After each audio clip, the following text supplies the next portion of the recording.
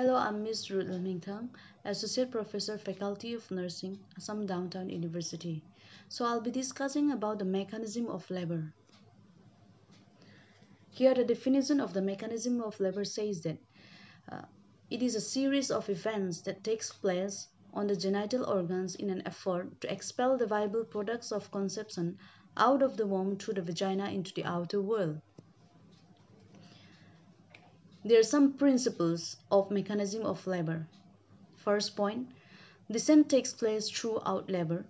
Number two, whichever part leads and the first meets the pelvic floor will rotate forward until it comes under the symphysis pubis.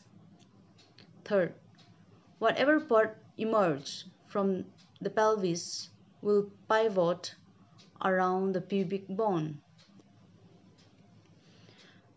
There are six criteria of the mechanism of labor. The lie is longitudinal, the presentation is cephalic, the position is right or left occipital anterior. The attitude is one of the good flexion. The denominator is the occiput. The presenting part is the posterior part of the anterior parietal bone.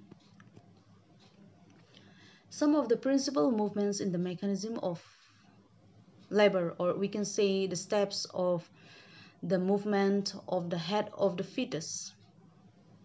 First point, descent, engagement, neck flexion, internal rotations, crowning, extension of the presenting part, restitution, internal rotations, and lateral flexion. First point, descent. Here, in the primigravida, descent takes place likely to be from 38 weeks of gestation onwards. In multigravida women, it may not occur until labor is established. As the head descends, it moves downwards to the pelvic brim in either the left or right occipital transverse position. Here in descent, the baby descends through the pelvic inlet towards the pelvic floor, and descent occurs due to the uterine contractions, amniotic fluid pressure, abdominal muscle contraction. Next step is engagement. Engagement occurs when the largest diameter of the fetal head fits into the largest diameter of the maternal pelvis. As the fetal head engages, the head moves towards the pelvic brim in either the left or right occipital transverse position. This allows the widest part of the fetal head to fit through the widest part of the pelvic inlet. Engagement is identified by abdominal palpations, where the fetal head is 3 fifths palpable or less. Flexion as the fetal head comes into contact with the pelvic floor, cervical flexion occurs. This allows the presenting part of the fetus to be suboccipito-bregmatic. In this position, the fetal skull has a smaller di diameter which assists passage through the pelvis internal rotation of the head.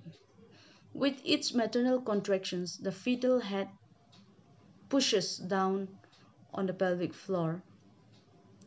A total of 90 degrees rotations to the occipital anterior position to lie under the subpubic arch.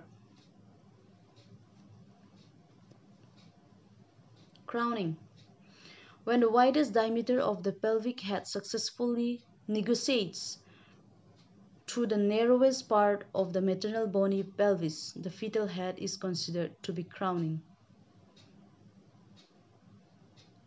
This is clinically evident when the head, visible at the vulva and no longer retreats within the contractions. Complete delivery of the head is now imminent and often the woman who has been pushing is encouraged to pant so that the head is born with control. Extension of the presenting part. The occiput slips beneath the suprapubic arch as the head extends and the nape of the neck is pivoting against the arc. Restitution.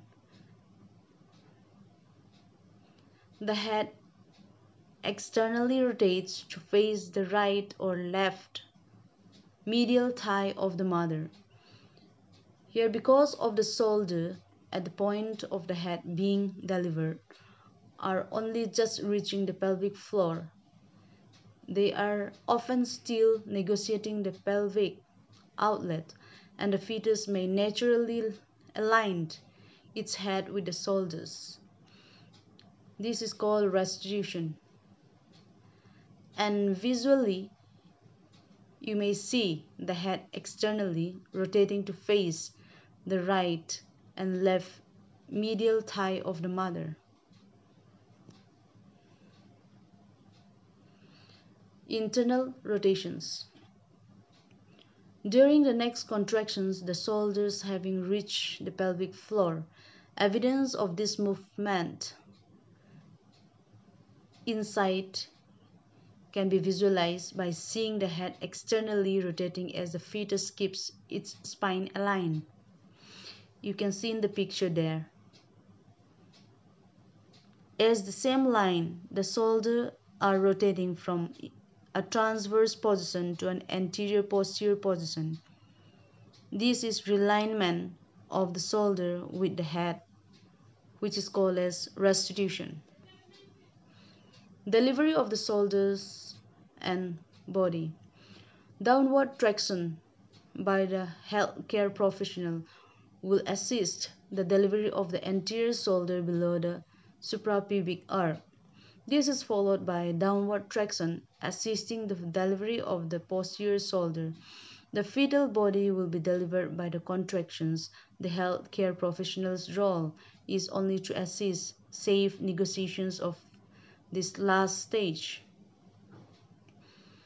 So with the downward traction from the picture, you can see the anterior shoulder is delivered.